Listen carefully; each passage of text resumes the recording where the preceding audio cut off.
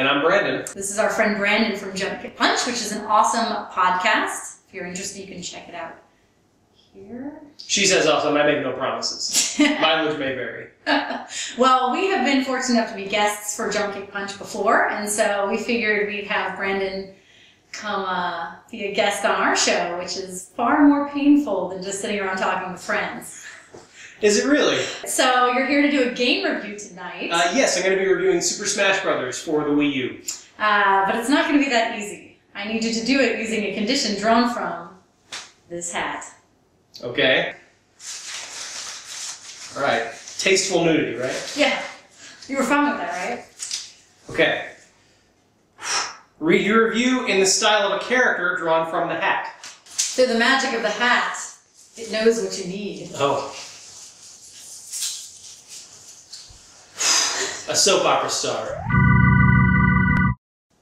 Troy, it's me, your ex-wife. I'm back in town and I'm here to tell you about Super Smash Brothers. It sure is a Smash Brothers game. It's got the best, most interesting roster full of all sorts of women that I'm sure you're very familiar with, Troy.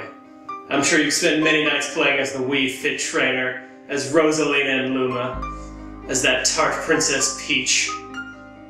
I know all about your activities, I know all about all the play styles that you've been experimenting with, because it is quite a diverse roster with a lot of different ways to play the game. It, it won't make tournament level players happy, but they're never happy.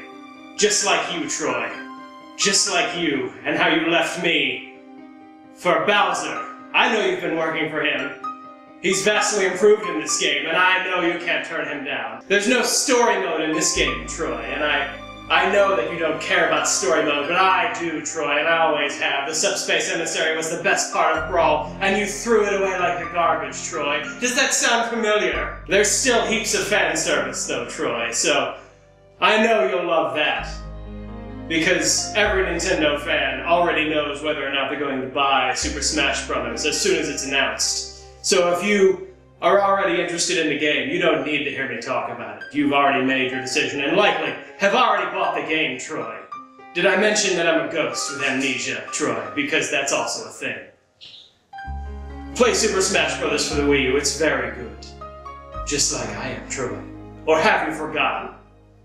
Subscribe to Backward Compatibles if this is the sort of thing you're interested in, Troy. They do a lot of stuff like this, sometimes with wigs, sometimes without wigs. I will make sure I always request more wigs, because I know that you love that, Troy. Perfect.